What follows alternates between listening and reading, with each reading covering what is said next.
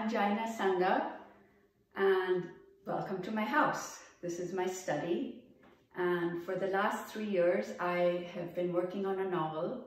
The title of the novel is The Marriage Detective and today I'm going to read to you chapter two from the novel.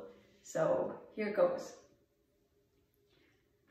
Narrowly missing an auto rickshaw, Balram swung a U-turn in his black Skoda in pursuit of the motorcycle. He kept his eyes on the young woman riding on the back. She was in a fitted jean skirt and orange blouse, hugging the driver's waist with one arm, clutching a big brown handbag with the other. The motorcycle overtook a bus and several rickshaws, and Balram veered briefly into the oncoming lane to keep it in sight. He wasn't worried about being seen in the motorcycle's rear view mirror. Mumbai drivers never looked in their mirrors. He glanced at his speedometer, the needle barely hitting 30, but he couldn't go any faster on account of the bicyclists weaving between lorries and buses.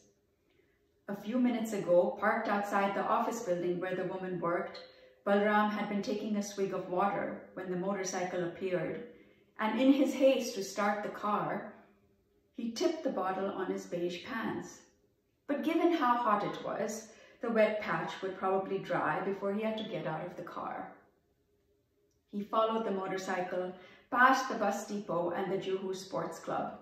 Sprightly and fearless, the motorcycle driver had the advantage, though Balram gamely kept up, taking the corners fast and close.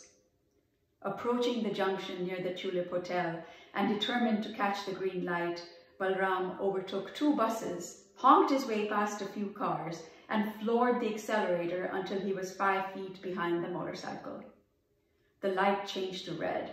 Expecting the motorcycle to run through, Balram braced himself to keep pace. Thankfully, the fellow slowed and sticking one foot out for balance, coasted to a stop. He must be enjoying the woman's arm around his waist and wanted to show off at the traffic signal. Balram jolted to a halt. Chaotic queues of traffic sat facing each other, trapped by the lights. A rickshaw squeezed into the space between him and the bike, and Balram inched the Skoda forward for a better view. The motorcycle listed, the engine idling loudly, spewing a blue-grey exhaust every few seconds. Balram jotted down its registration plate number on a scrap of paper. The woman's skirt barely covered her knees and her billowy blouse was printed in a random pattern of orange squares. The sandals strapped around her ankles had big shiny buckles. The driver was wearing a helmet, but she wasn't. She smoothed her wind-blown hair with one hand, then pushed her sunglasses onto her head. From her handbag, she brought out a handkerchief, dabbed at her neck and face, then repositioned the sunglasses. The driver was in jeans and a white shirt that outlined his biceps, like a film hero. When he turned his head, Balram saw 007 James Bond on his helmet. He turned to speak to the girl, his helmet almost touching her face, and she laughed and nuzzled her chin on his back. He revved the engine, several vroom vrooms that emitted plumes of smoke, boasting for no reason. Balram reached for his camera, a brand new super slim Minolta, and holding it just above the steering wheel, shot three photos. As the light changed, Balram charged through the intersection, but a trundling handcart and two pedestrians forced him to steer the Skoda to the left. The motorcycle swerved to the right, all roar and speed, and then it was gone.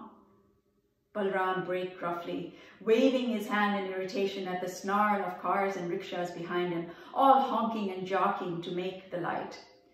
Looking over his shoulder, he saw the motorcycle jetting off down a side road in the opposite direction, the bold orange of the girl's blouse becoming smaller and smaller in the growing distance. Balram thumped his fist on the steering wheel, as he contemplated another U-turn, he heard the screech of brakes and then a lorry driver shouting at him. Balram pulled to the side in front of some small shops and wondered if he should drive down Juhu Road in case they were headed to the beach. But there were so many lanes, intersecting the main road, and if they weren't headed to the beach but to Chandan Cinema or to Shopper Stop, these were in the opposite direction. He reached for the water bottle. The plastic was getting flimsy. For several days he'd been refilling, refilling the bottle with tap water, and it crackled as he gulped what was left. He turned the AC on high, but it made an irritating tick-tick, so he set it at medium low and aimed the vents so the cool air reached his face. The mirror ornament, a crystal Ganesh with a red silky tassel, twirled in the draft. Removing his sunglasses, he checked his mobile and saw a text from his niece, Shalini, whom he put to work at the agency. Four months ago, his older brother had called from Jaipur and said that Shalini had finished her college exams and he was sending her to Mumbai. Could Balram please employ her in his agency? At first, the idea of Shalini working in his detective agency had alarmed him. In fact, why did she need to work at all? Shouldn't his brother be looking for a suitable boy for her? When he mentioned this, his brother said he tried, but Shalini was a modern girl she insisted on having a career, of putting her education to use and doing something useful with her life. Two days after his father's phone call, Balram had gone to Bombay Central Station to collect his niece. From the station, he'd driven Shalini to St. Mary's Hostel for Women, a three-story building in Bandra. High-rise flats were going up on either side of the hostel, and the lane was lined with bulldozers and heavy equipment. It wasn't easy finding a room in Mumbai at such short notice.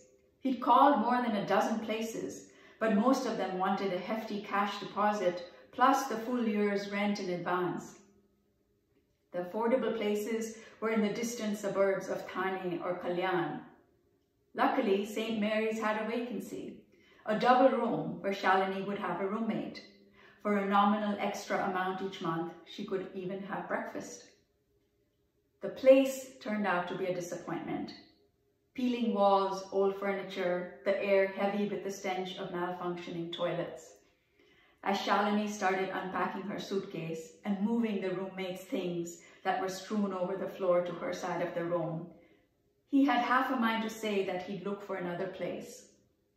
He felt bad about leaving Shalini at the hostel, but he consoled himself with the thought that there was a ping pong table and carom boards downstairs in the common room, and a washing machine behind the reception counter that the girls could pay to use on Sundays.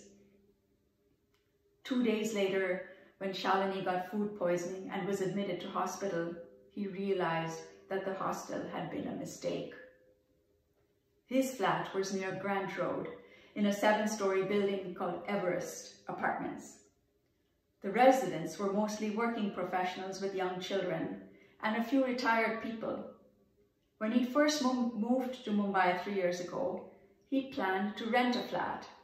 But when the real estate broker showed him the math and he saw how much the property might appreciate in 10 years, he plunked down all his savings to purchase the 551 square meter third floor flat that had one bedroom, bathroom, sitting room, kitchen, and balcony. After the food poisoning episode, he gave Shalini his bedroom and created a slipshod room for himself on the balcony using plywood panels, leaving a square opening to let light and air through.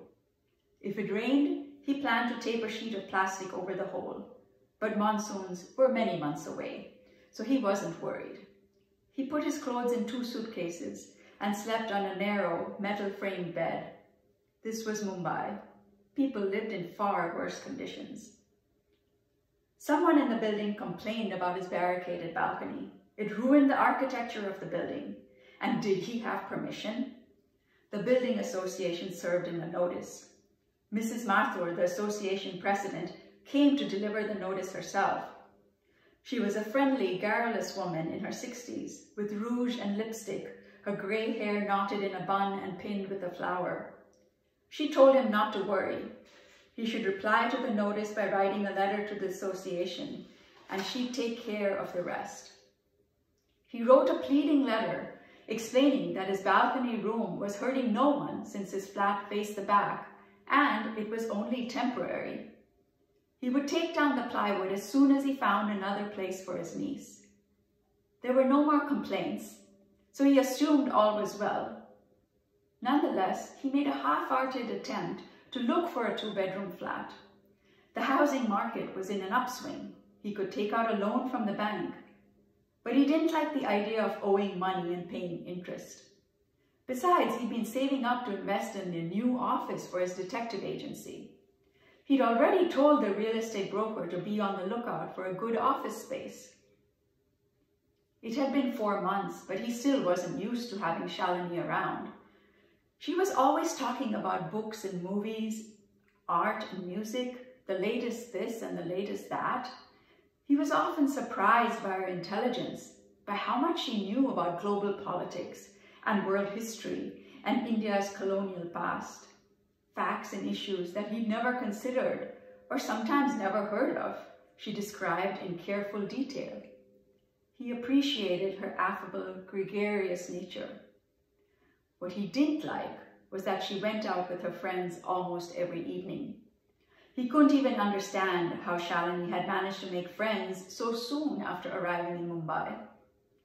Once when she was out with her former roommate, Rani, she'd had her purse filched on the train. Although he wasn't surprised by her rub with the city's criminal underbelly, he'd taken the opportunity to lecture her on safety and what she should and shouldn't do. After that, for several evenings, Shalini had stayed home, staring absently at some TV program. Then one evening she was in the bathroom for a long time, and when he heard the high-pitched whir of the hairdryer, he knew she was getting ready to go to a party. Balram worried constantly about something tragic happening to his niece, but other than give frequent warnings, he didn't know what else to do. Now he replied to his niece's text. Still near Juhu, back at office by four. He then reached for a file on the passenger seat. He looked at the motorcycle woman's photo, which he downloaded from the internet that morning. Priya Gokhale, age 26. In the photo, she wore a sari and jewelry, and her hair was tied in a braid. A conservative Indian woman at odds with the person on the motorcycle he'd seen a few moments ago. Balram was more excited than usual about this case. The client, Vivek Mehta, was an investment banker from New York, and it wasn't every day that he got a foreign client. Actually, this was only his second foreign client. The first was a man from Mauritius who'd hired him to investigate his daughter's fiancé. After signing on the case, Balram had to look up Mauritius on the world map. Now he studied Priya's photo again. She was certainly attractive. But Balram's job was not to judge her looks. His job was to investigate her reputation and to find out whether she wanted to marry Vivek only to get a US green card. He'd given Vivek the usual options of standard report or full report and explained the differences to him. Vivek had opted for the latter, but even if he'd chosen the standard report, Balram would have done the extra work because he wanted to impress the foreign client. Balram returned the photo to the file and tossed it on the passenger seat. It was a simple case. All he had to do was follow Priya for a few days and snap some photos. He knew the usual places, movie theaters, coffee shops, and dance clubs. He'd done this routine many times. The more difficult cases involved snooping, snooping at five-star hotels, chatting with receptionists and bribing the cleaning staff to let him into the rooms. He felt irritated that he'd lost the motorcycle and wasted the better part of the afternoon waiting outside the office of Sharp Solutions where Priya worked, parked in the hot sun, perspiring like a coolie. But never mind, he'd come back tomorrow and resume his sleuthing.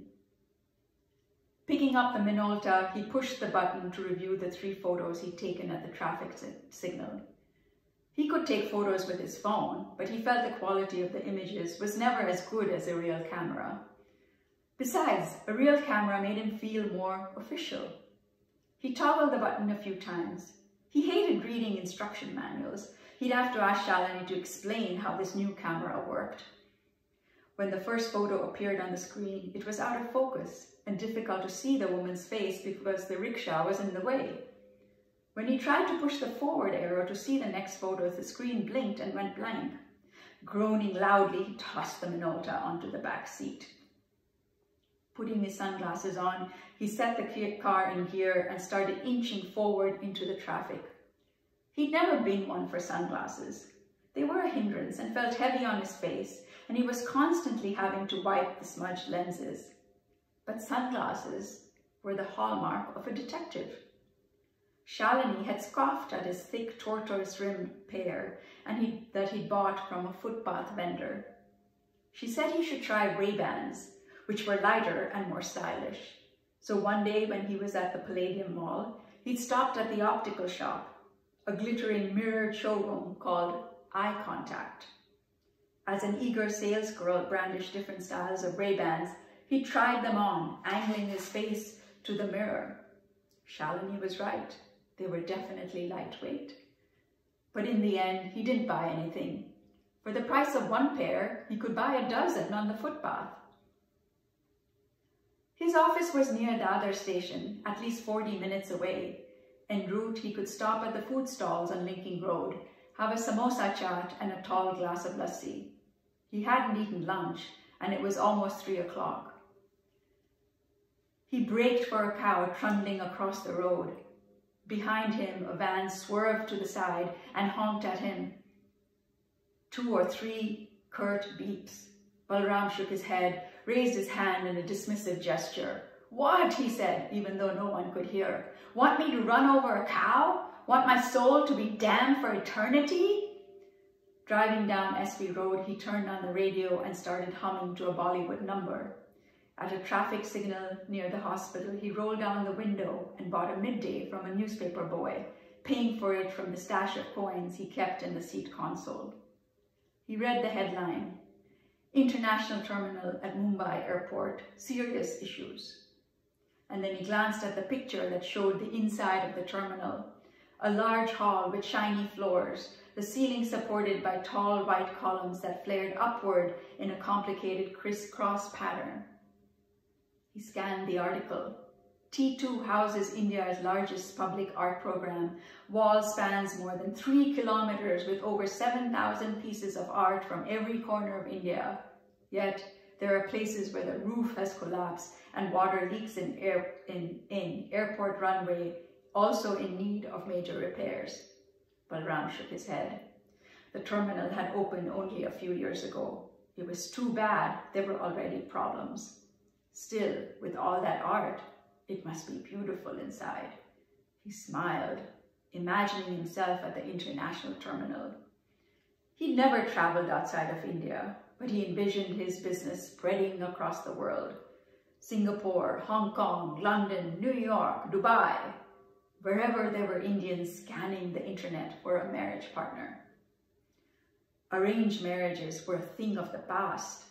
Gone were the days when people relied on a network of aunties who knew eligible girls and boys and who would fix their matches over a cup of tea and a plate of biscuits.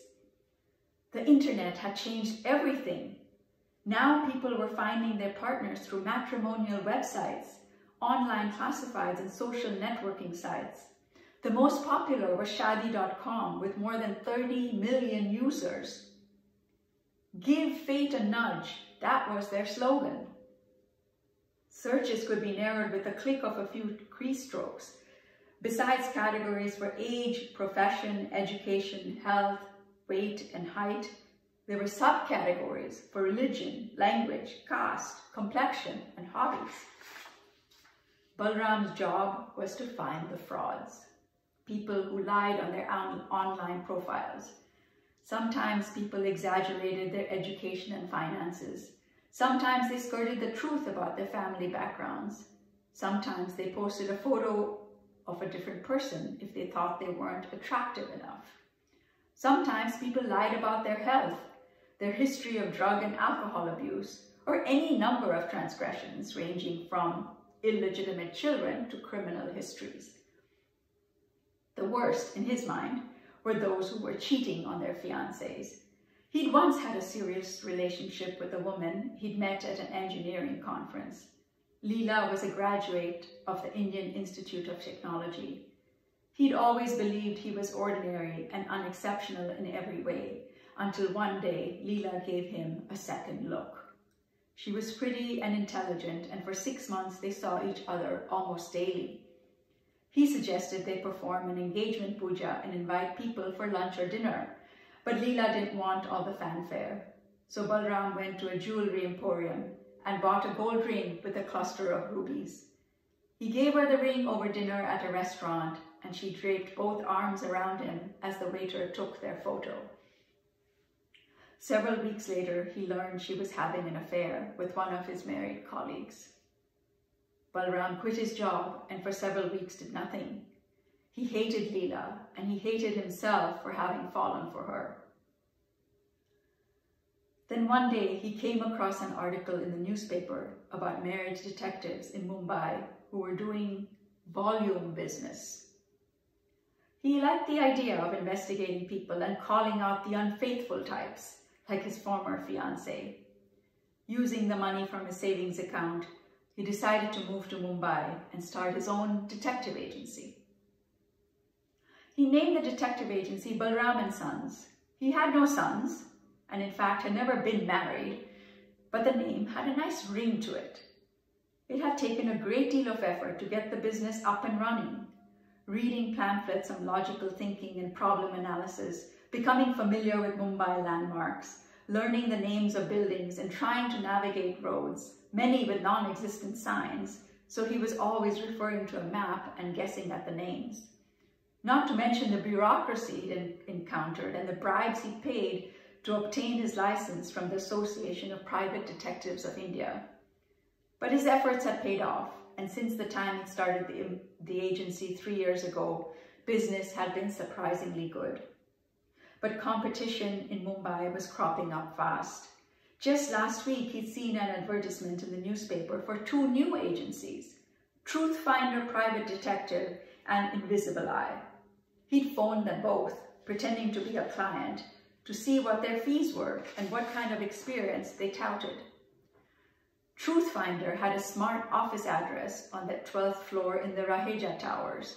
He'd felt a twinge of jealousy, but he was relieved when he learned that they took all sorts of cases instead of specializing in marriage detective work. Invisible Eye didn't even have a computer and didn't, hadn't even heard of the APDI license. It was clearly a fly-by-night operation. Momentarily, Balram felt triumphant. But he was an enterprising man, and he'd realized long ago that to stay ahead of the game, it was important to venture into the international sector. Based in Mumbai, with clients around the world, that's how he envisioned his business. His sleuthing had taken him to some appalling places in Mumbai, the sweltering alleys around Muhammad Ali Road, the old smoky factories and warehouses in Parel, and the dismal slums of Dharavi. By far the worst was the disease-infested red light district behind Bombay Central Station. He hated having to follow people there and wait on the footpath outside the rows of brothels, often enduring the taunts of prostitutes after he, after he refused their solicitations and watching the taxi drivers grinning as they ducked into the brightly colored doorways. But there were perks to his job as well.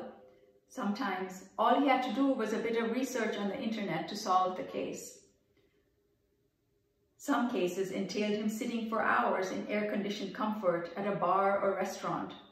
Sometimes when his spying took him to fairs and festivals and cricket matches, it didn't even feel like work. Once, when a case had taken him to Marve Beach and Powai Lake, it was almost like being on holiday. The case he'd enjoyed the most was when he'd landed up at Mahalakshmi Racecourse. All he had to do was take photos of a man to show that he frequented the races. Balram's work was done in less than an hour. It was a nice breezy afternoon, and since he'd already paid the entrance fee, he thought he might as well hang out for a while. He made his way toward the paddock, where a large crowd was assessing the parading horses. Balram was taken by a brown steed that he thought had intent eyes and a springy step. At the ticket booth, he wagered a bet, a crumpled 50 rupee note, and took up a perch at a bend in the track. The horses charged out of the starting boxes, and moments later, he saw his brown steed hurtling around the bend. He felt thunder rising from the earth, and his whole body thrilled as he let out a whooping cheer. To his amazement, his horse finished second. Collecting his paltry winnings at the ticket window, Balram wished he'd staked a higher amount. Over the next few days, he pored over the races news section in the newspaper. He spent hours on the internet studying the names of horses and analyzing their statistics. He learned about breeding and track conditions, about jockeys and agents, he marked the date in February of the Indian Derby and smiled to himself when he saw the amount of the purse it carried. But by the following Sunday, he got wrapped up in another case and the idea of horse racing lost its novelty. He told himself that gambling on horses was no way to get rich. One could lose everything at the races. Nonetheless, whenever he drove by the racecourse, he was reminded of that incredible day now in the car, he was about to turn right into a side gully, a shortcut to Linking Road, when he saw a motorcycle. It was far ahead in the distance, stuck behind a bus, the sun glinting off the driver's helmet. Was it the same driver with Priya on the back? Balram cut into the left lane and gunned ahead of a few cars. It was difficult to make out the persons on the motorcycle which had now cleared the bus and was zooming along in the middle lane as though it owned the road. Balram kept on and was overtaking a white Honda when he suddenly bounced in his seat and heard a resounding clunk. The next instant, his tires were grating on gravel and the car almost rammed into a makeshift guardrail and an idle bulldozer. He cursed the Mumbai municipality as he eased his foot on the accelerator and corrected the steering wheel to avoid the rear tire getting stuck in the pothole that must be the size of a moon crater. He should pull over to the side and check the car, but the motorcycle was getting away. He straightened the wheel and kept going, telling himself the Skoda was tough. He overtook several vehicles, vigilant now about the slightest rut, and by the time the motorcycle approached the junction to enter the highway, he was two cars behind it. He held his breath, eased the accelerator for a moment, and squinted. It was definitely Priya in the orange blouse and the boyfriend with his stupid James Bond helmet. Balram could hardly believe his luck. No, he decided, it was not a matter of luck. It was a matter of expertise. He straightened himself in the seat, put both hands firmly on the wheel, and swerved to the left in chase of the motorcycle.